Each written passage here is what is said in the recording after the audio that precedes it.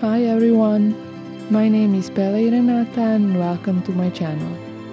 For today, I have hoped that I can intrigue you with these pictures and show you an art journal page that I made a couple of years ago, but uh, still comes as one of my favorite pages.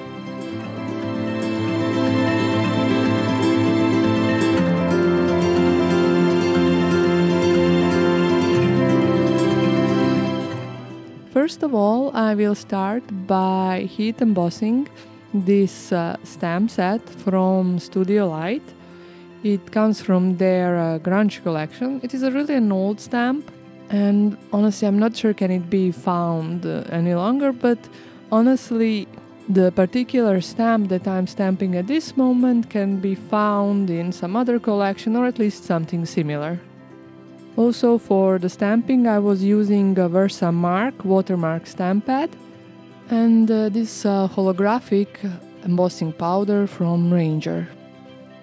The effect that I'm creating now won't really be seen until I start uh, applying colors because it's basically kind of holographic transparent embossing powder on a white background.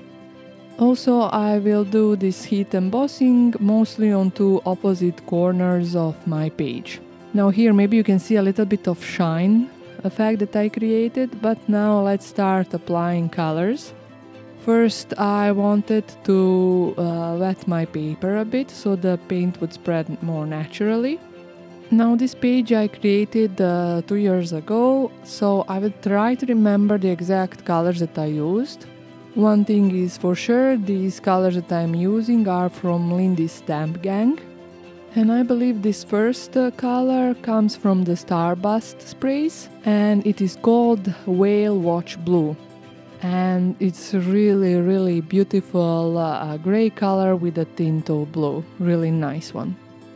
Now here, as you will see, I will try to dry this first layer of color so it wouldn't blend too much with the second layer. And I will also show you how it looks on the other corner when I don't uh, dry the first layer. It is a really similar effect, but it still has its uh, slight differences.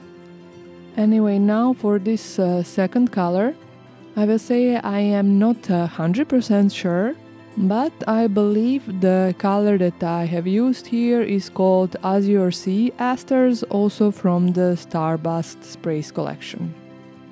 Also, as you can notice, I'm still spritzing some extra water to make the paints uh, move a bit more and I think it creates a really beautiful effect.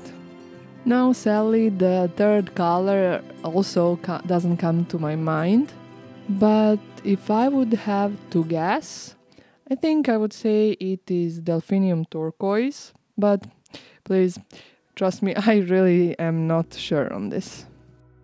Also, I will go once more back to adding a little bit of a darker shade, this uh, first color that I used, the Whale Watch Blue, because I wanted uh, these different shades of color to be seen between the layers.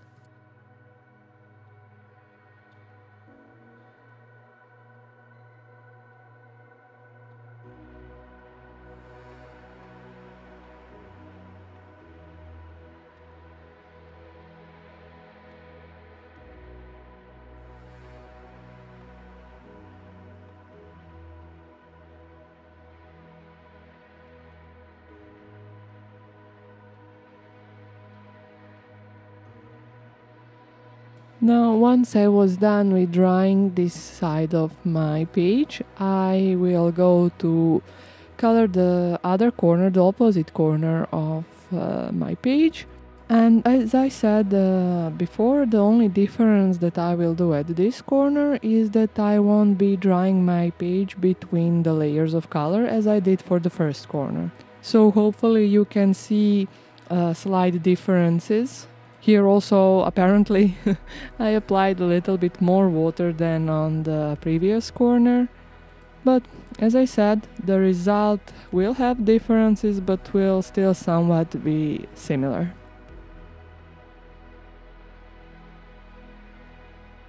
Hopefully you can see how colors here are uh, blending better than uh, previous corner.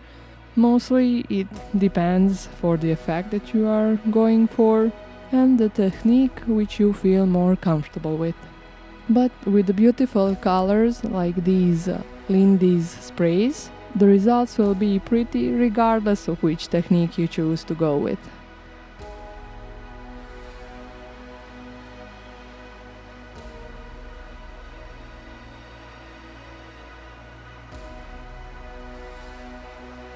After drying both corners, you can see the slight result in the effect. In the upper corner, the colors are a little bit more layered than in the lower one, but since the colors that I worked with are same, it won't bother the overall look of my page. Anyway, now I decided to do some stamping, and as I didn't want to introduce any new colors, and I wanted some uh, loose stamping, I decided to stamp with uh, one of the colors that I use uh, for the background, the darkest one the Whale Watch Blue. And the stamp that I am using comes from Carabelle Studio. The name doesn't come to my mind at this point, but I will uh, write it in the description box down below together with other products that I have used for this project. And just in case that you are wondering, I on purpose didn't want the full image of the stamp to transfer, I just wanted some extra background interest in this case.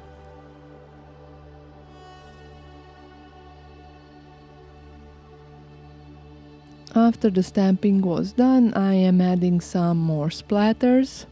Once again using uh, Lindy sprays and the color that I am using now is called Blazing Black.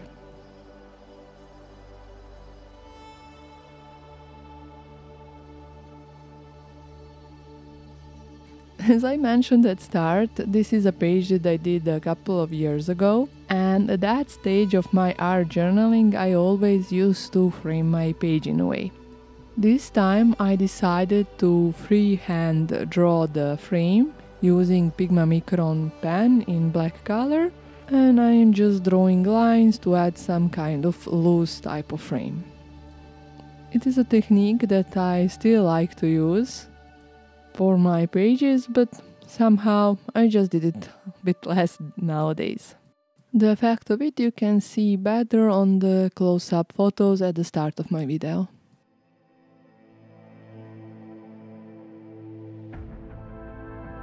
Now was the time to start working on my layout and these absolutely stunning paper elements that I'm using are from the Craft O'Clock Ocean Deep Collections Extras to Cut. I think I have to say that this is still one of my absolutely favorite collections from Craft O'Clock. Anyway, as you can see, I have uh, pre-cut my elements before uh, starting to work on this page. Also, these elements used as in uh, color inspiration. And at this point, I'm just trying to figure out the layout. Off camera I will proceed to adhere these elements. For some of them I will use uh, really thin foam tape while for others I will just use uh, liquid glue. I generally don't tend to make uh, too much dimension on my pages, but sometimes some thin foam tape can really look great. Anyway, now the time was to figure out a quote the sticker sheets that I am using are from Studio Light Jennine Mindful Art Collection. Once again, I have to remind you this is an older project, so all the products that I am using are older and sometimes harder to find on the market still. But anyway, if I can find some of these, I will uh, put the links in the description box. Or perhaps you already have some of these items in your stash.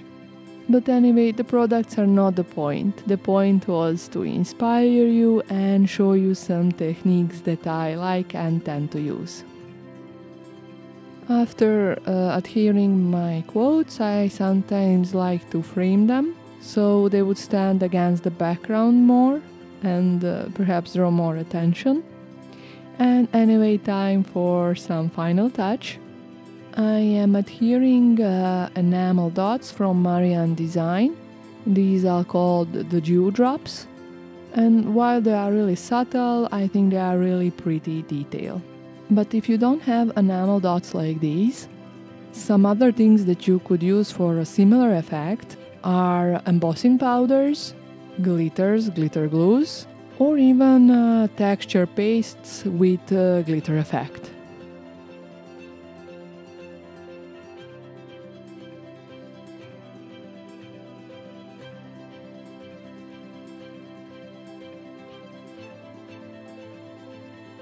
Oh, actually, this wasn't the last detail. I uh, really enjoyed that the sprays which I used uh, from uh, Lindy Stamp Gang have a little shimmer, but apparently that wasn't enough for me. So I decided to use Wink of Stella brush pen with a clear shimmer effect and apply them over random places on the uh, paper elements. And finally, that was uh, truly the last step. I hope you enjoyed this uh, process video as this really comes in my top uh, 10 favorite pages. Anyway, wish you all a nice crafty day and see you soon. Bye!